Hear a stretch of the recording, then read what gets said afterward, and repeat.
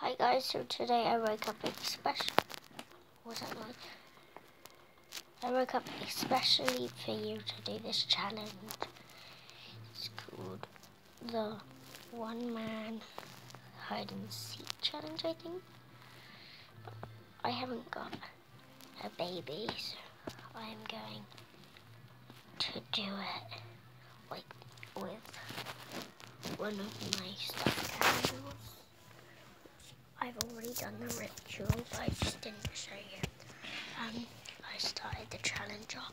So we're gonna have this teddy as the ritual starter because I, I put it on the about it. So let's put here these counting first. So hopefully because behind the door. Okay. There's that. So we'll just see what it does. Okay, so let's go.